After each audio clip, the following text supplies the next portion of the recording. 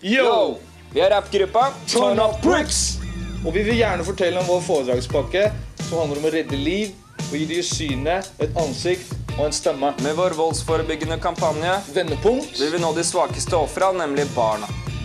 Vi våger å stå fram med egne historier om vold hjemme. Her skal vi høre litt om min historie.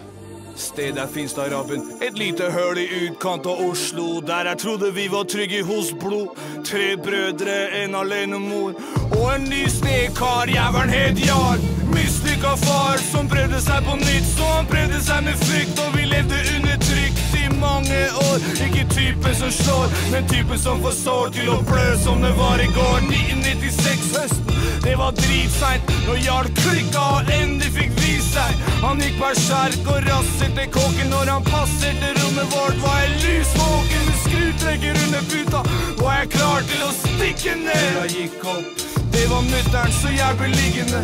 Hun ba oss hviskende. Kle på dere, gå ned. Naboen har den på kne. Mamma, hvor skal vi nå? Vi tar taxi til krisesenteret hvis jeg har råd. Og fire dater ett rom i nesten ett år. En hard tid, men jeg var syk. Jeg kan ta litt om problemstillinga. Vi vet at fra statistikk bor det ca. 2000 barn årlig på krisesentra. Det vi ser i media, er bare toppen av isfjellet. Det er store mørketall pga. det er såpass tabubelagt område. Det som er unikt, er at det er første gang det her temaet tas opp i skolesammenheng. Og det har tidligere ikke vært noen voldsforebyggende tiltak retta mot barn. Før så har fokuset vært på kvinner. Ja, Vi snakker av egne erfaringer, og de unge kan identifisere seg lettere med oss eh, enn med lærere og politikere. Og... Og det er fordi at vi bruker rap og kunst som virkemidler i tillegg. Foredraget, som varer i 60 minutter, starter med at vi viser musikkvideoen Vendepunkt. Og så snakker vi litt etterpå om hvordan vi fikk støtte av politikerne til å lage den. Jeg begynner å fortelle om hvordan det er å vokse opp i et rushjem i psykisk vold, hvordan jeg har fått mentale problemer som resultat av omsorgssvikt, hvordan jeg jobba med det. Jeg tar for meg ungdomsåra og hvordan det var å flytte til krisesenter og bo der et år. Så blir det debatt. Vi svarer på noen spørsmål, forteller om hvor man kan søke hjelp, og gir noen råd.